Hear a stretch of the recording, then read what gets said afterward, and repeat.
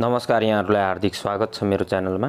यदि च्यानलमा नयाँ हुनुहुन्छ र च्यानललाई सब्सक्राइब गर्नुभएको छैन भने कृपया च्यानललाई सब्सक्राइब गरेर सहयोग गरिदिनु होला मैले आज नयाँ सिस्टम अनुसार नेपालको सवारी चालक अनुमति पत्र अनलाइनबाट लिनको लागि पहिलो स्टेपमा के गर्ने भनेर यहाँहरूलाई देखाउन गइरहेको छु।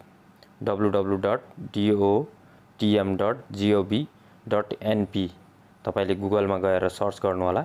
त्यसपछि स यातायात व्यवस्था विभागको वेबसाइट खुल्नेछ। त्यो खुलिसकेपछि यहाँ महत्त्वपूर्ण लिङ्कहरूको सबैभन्दा माथि छ अनलाइन सवारी चालक अनुमति पत्र भन्ने। त्यसमा क्लिक गर्नुहोला।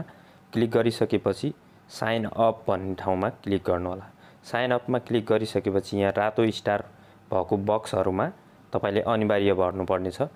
यसमा भर्नुपर्ने एप्लिकेसन रजिस्ट्रेसनको लागि first name middle name last name त्यसपछि date of birth mobile number अनि तपाईँले यो वेबसाइट खोल्नको लागि आफ्नो युजरको लागि पासवर्ड आफैले क्रिएट गर्नुपर्नेछ।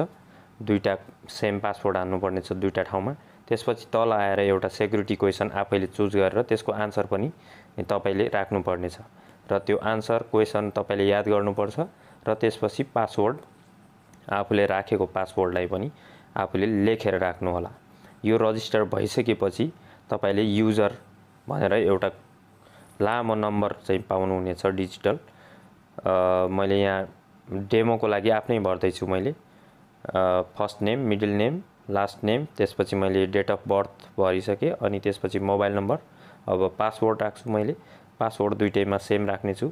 सेम राखिसकेपछि मैले सेक्युरिटी क्वेसन चुज गर्नेछु। यहाँनिर तपाईँले जुनसुकै सेक्युरिटी क्वेसन पनि चुज गर्न सक्नुहुनेछ।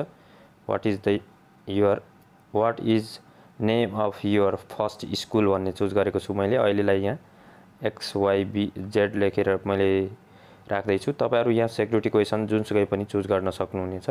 त्यसपछि साइन अप गरिदिनु होला। साइन अप गरिसकेपछि तपाईँको मोबाइलमा भेरिफिकेसन कोड आउँछ। छवटा डिजिट त्यो डिजिटलाई यसमा टाइप गर्नु होला। ओटिपी मैले टाइप गरेँ अब कन्फर्ममा क्लिक गर्छु।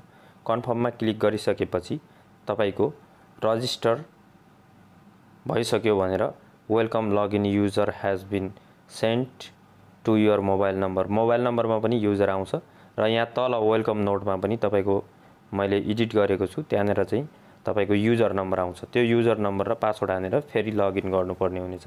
यो फर्स्ट स्टेप हो त्यसपछिको स्टेप फेरि म देखाउनेछु। हस् त धन्यवाद। नमस्ते। सर्वे भवन्तु।